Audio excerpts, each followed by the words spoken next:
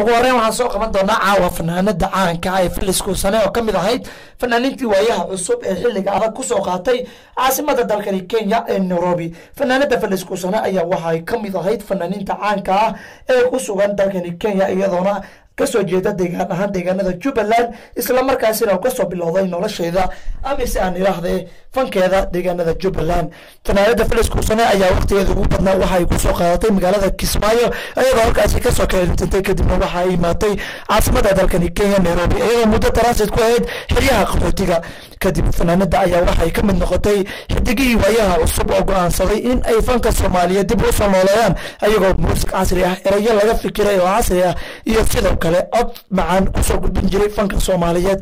waayaha cusub ayaa waxa ay noqdeen kuwo dhagaha iyo weliba maskaxda. Dad badan oo soomaali degay islamarkaasina dayarta soomaaliyeed u iftiimiyey nolol cusub ay ku jiraan haddaba intaasi kadib ayaa filis kuusane waxay ka mid ahayd fanaaniintii ugu caansanaa ee waayaha cusub laga bartay waxayna ku aanbaxday heestii garadlay oo iyada iyo weliba fanaanada. Ikraan caraale ay iskugu jabeeriyeen oo ahayd gardarane iyo weliba garadlay heestaasi oo laxankeeda uu iska lahaa cali shaacir oo ka mid ah abwaaniinta soomaaliyeed islamarkaasina ah abwaaniinta inta badan lagu garan ogyahay inay tumaan kabanka. Heestii garadlay marka laga soo tago ayaa filis sidoo kale waxaa lagu garan ogyahay heestii maogtahay niraada heestii gumaysaha etoobiya nimaan gaarin baa jira oo ay ahayd hees inta badan dhiigga dad badan dhaqaajisay. Oo xiliyadaasi ahayd xiliyo adag oo weliba dagaal culus uu ka dhexeeyey jabhadda nlaf iyo weliba dalka etoobiya intaasi kadib filis waxa ay go'aan ku qaadatay in gebi ahaanba ay ka baxdo garoomada iskaabulada ku dhibaataysan magaalada nairobi ayadoo nolosha kula midowday guddoomiyihii kooxda waayaha cusub ee shiinaha khiyaar kadib markii ay u wareegtay saaxada lamaanayaasha soomaaliyeed ee fanka ku midaysan islamarkaasina ka mid ah xaasileeda ku sugan magaalada nairobi intaasi kadib filis ayaa fankeedii maalin walba howsi ahaa mid dib u sii guraya oo aan horsocod lahayn. Intaasi kadib kooxda waayaha cusub ayaa waxa ay go'aansadeen in gabi ahaanba safar ay kaga qayb galayaan tartan national ah ama tartan heer caalami ah oo ka dhacaya dalka holland netherland ama waxaad u taqaana dhaadka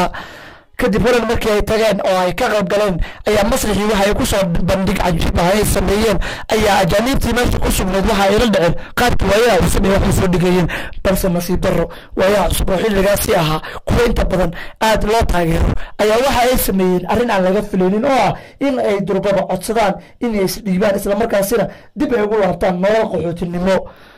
Filis kadib markii noloshaasi qaxootinimada ay gashay ayaa waxa ay ka soo kabsan weysay. Muddo oo halkaasi ay ku sugneed ayaa waxaa la waayey fankeedii meel uu jaaniya cirib dhigay. Filis ayaa waxaa la filayaa in ay ka mid noqotay hooyooyinka soomaaliyeed ee gurjoogta ah. Walow aysan ku dhawaaqin in fanka soomaaliyeed ay ka baxday sidoo kale majaaladaha fanka soomaaliyeed ee ka faallooda inta badan ee ka qora waxyaabaha ayaa waxa ay qorayaan in falis aan war rasmi ah laga haynin walow waayaha cusub safaro kala duwan ay ku kala bixiyeen qaaradda yurub iyo weliba dalka maraykanka taageerayaal badan oo filis taageeri jiray ayaa waxay aaminsan yihiin mar un inay filis dib ugu soo laaban doonto fanka. Sidoo kale habwaaniinta soomaaliyeed ee qora miraha cajiibka islamarkaasina lagu cataabo amase lagu ammaano ayaa mira ayaa waxa ay sheegayaan in mar uun miro ay qoreen ee filis codkeeda cajiibka ahaa ay dib u soo qaadi doonto. Balse waxaana la hubin intaasi ay ku noqon doonto riyadaasi anjalacno dhankaasi iyo fanaan kale oo maaragtay dhanka ragga ah. Fanaanka mursal muuse ayaan soo qaban doonaa. Kamid ah xidigaha waayaha aaminaada ee xidigaha geeska. Fanaanka mursal muuse ayaa waxa uu ka mid ahaa muddo. Xidigaha geeska fanaanka mursal muuse ayaa waxa uu ka soo kictimay fankiisa dhankaasi gobollada muqdili isagoona fanaankani uu ahaa mid inta badan fankiisa uu hoosudhac badan ku saabsan yahay aroosyadii xafadaha gigaarigana ka hayso balse heestii hayraadsan ayaa u noqotay mid mursal muuse bartay dad badan islamarkaasina ka dhigtay nin caam ah. Intaasi kadib fanaankan inta badan doorbida inuu jacaylo kala duwan la sameeyo gabdha soomaaliyeed iyo sidoo kale weli fanaaniinta ayaa waxa uu nolosha kula midoobay khadra saliimo oo ah gabar inta badan fanka ku joogto lacagteeda. Sidoo kale khadra saliima oo keliya maaha fanaanada ku joogta fanka lacag waxay sidoo kale ku joogtaa cod iyada oo dhanka muuqaalka aan aada loo taageerin. Fanaankani mursal muuse oo muuqaalkiisa iyo qaab ciyaareedkiisa taageerayaashiisa ay aada ugu qanacsaneen islamarkaasina mar walba ay ka codsadaan in ugu yaraan cod keliya intuu soo qaado kadibna layrarkiis laga soo dhigo ama habqoraalada lagu soo gudbiyo maadaama aysan ku qanacsaneen. Qaab ciyaareedkiisa oo aada u xun ayaa waxa uu doorbiyey in fankiisa kor u soo qaado balse fanaankani ayaa waxa uu ku milmay mawjad caashaq oo marba mid u dhigtay oo ah in uu aaminsan yahay inuu yahay mucashaq bedeli kara qays fanaankani mursal muuse oo hodar cabdiraxmaan barxad cad ay oga tagtay hadalka hore islamarkaasina la rafaaday caashaq ayaa mar waxa uu rajo u lahaa marun inay u soo laaban doonto hodar cabdiraxmaan. Kadib soo laabashadii hodar cabdiraxmaan ayaa ka dhigtay mursal muuse mid dad badan ay bartaan maadaama ay ku loolameen laba fanaan oo dahlaasil ah oo kale ah khatra saneeme iyo weliba fanaanada masraxiyadda cajiibka leh ee soo jiidashada marka ay ciyaarayso. Waa hodar cabdiraxmaan islamarkaasina aaminsan iliga lakabka ah inuu quruxdeeda u yahay midka ugu badan ee dadka u soo jiitaa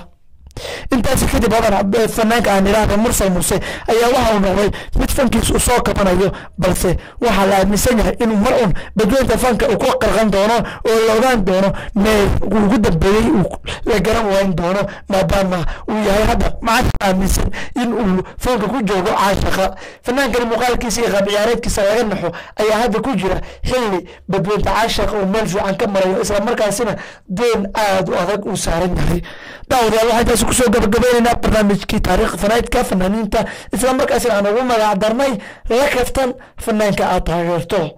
Barnaamijkan la kaftan fanaanka aad taageerto ayaa wuxuu soo geli doonaa habeen walba oo talaada ay sii baxeyso arbaca ay soo galayso iyo sidoo kale habeenka arbaco ay sii baxeyso khamiis ay soo galayso